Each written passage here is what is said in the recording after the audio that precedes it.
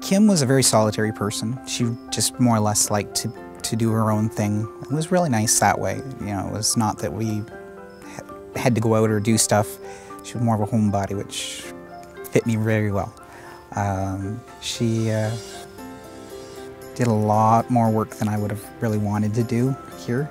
Kind of nice that way. She uh, keep me on my toes. She was more comfortable with a power tool than with a computer. She would uh, take care of, of me as well as I, me taking care of her, even though she was sick. She liked to, uh, to make sure I was happy, even though I was the one trying to make her happy. We got together on uh, July 26th of 2009 and we found out she had cancer two and a half weeks later in August. Um, that, that was a very hard day. You know, we, that was like a Thursday. We got the pathology report on the Monday. We saw Dr. Um, Levine on the Tuesday and she started uh, chemotherapy on the Friday and it was just really quick. We had no real time to process what was going on. It was just here you go. We found out about the outreach or hospice when Kim was, was told, sorry, your end of life is coming up. Um, there's not much we, more we can do with the cancer drugs.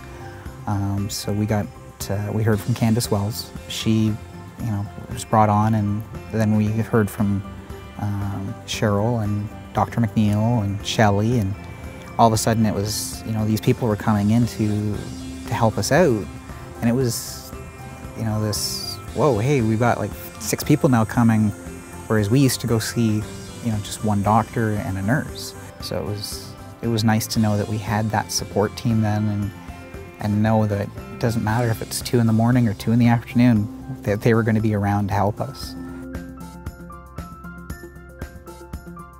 Even after Kim passed, they were still there to help um, support me uh, through that initial grieving stage.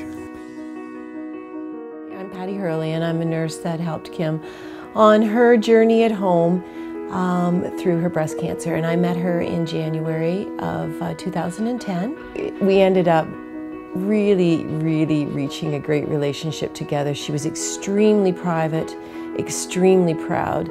She, she knew how to draw the fine line between um, how much can I research this and fight this and how many um, referrals should I get. Um, to the point of, okay, I need to step back now. You know, my life is slipping away and I do need to spend really quality time with the people I love. If we can divert somebody from the hospital and do their care at home, it saves them the wait time, unnecessary tests, and you know, we know what they're dealing with, we can focus. Pain management issues are the primary dealings. So when Shelley said, you know, we're gonna have to come to a point where we're gonna have to give us some injections, are you gonna be comfortable with this? I said, yeah, if it's for my wife, I'll do anything.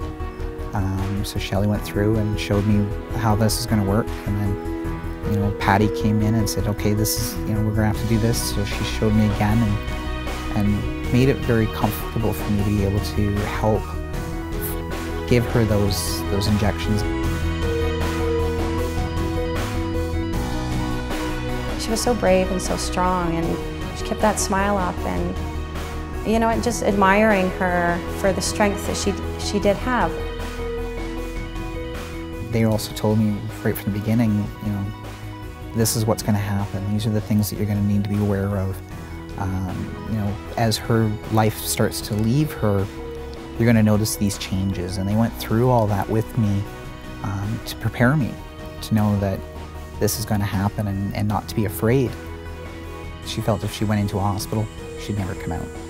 So it was nice uh, to know that we could stay at home and have the support come to us.